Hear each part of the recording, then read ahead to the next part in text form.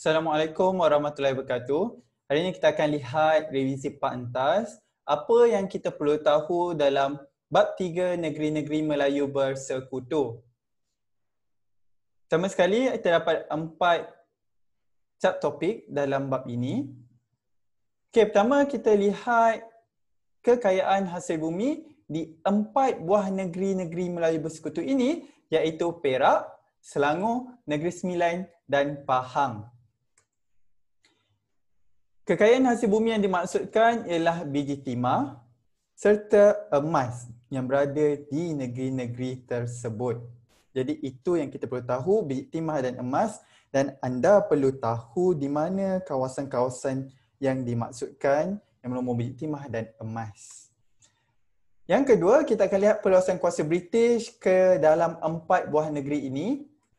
Pertama sekali, kita lihat strategi manipulasi di negeri Perak di mana manipulasi itu berlaku melalui perang larut dan yang kedua melalui perebutan tahta antara Raja Abdullah serta Raja Ismail.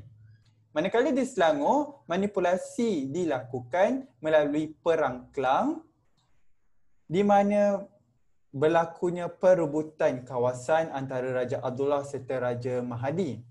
Manakala di Negeri Sembilan, manipulasi ini dilakukan di kawasan Sungai Linggi di mana terdapat persaingan pembesar antara Datuk Kelana, Datuk Syabanda dan Datuk Muda Linggi. Itu strategi manipulasi. Kedua kita lihat strategi desakan di mana di negeri Selangor setelah berlaku setelah British berjaya memanipulasi mereka menggunakan alasan di mana berlakunya rompakan kapal dagang British dan kemudian desakan melalui serangan rumah api. Jadi mereka mendesak sultan untuk menerima presiden. Yang kedua, di negeri Pahang. Di Pahang tidak berlaku kekecauan manakala mereka telah melakukan desakan apabila berlakunya kematian lelaki berbangsa Cina yang bernama Goh Hui yang didakwa rakyat British yang mati di perkarangan istana.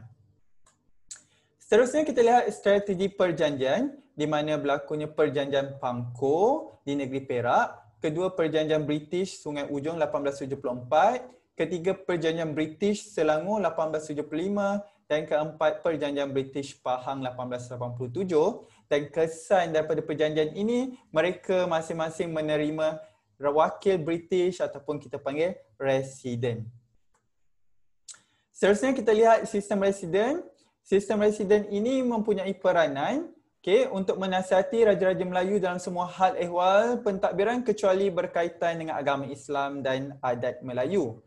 Terdapat empat orang residen di Perak namanya J.W.W. Birch. Kedua kita perlu tahu di Pahang J.P. Roger. Ketiga di Selangor J.G. Davidson. Dan keempat di Negeri Sembilan Martin Lister.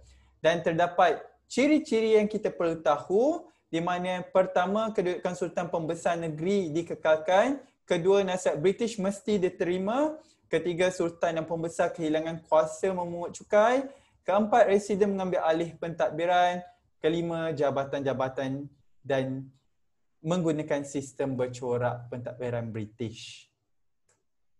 Seterusnya, setelah British berjaya menguasai negeri-negeri ini, mereka telah membentuk sebuah negeri ataupun unit pentadbiran kita panggil negeri-negeri Melayu bersekutu.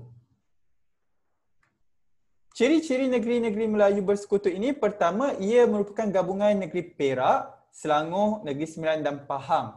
Kedua, ketuanya ialah Resident General Ketiga, Raja-Raja Melayu menerima nasihat Residen General dalam semua perkara kecuali agama Islam dan adat Melayu. Dan seterusnya Kuala Lumpur menjadi pusat pentadbiran dan kita perlu tahu ia juga dikenali sebagai Persekutuan 1896.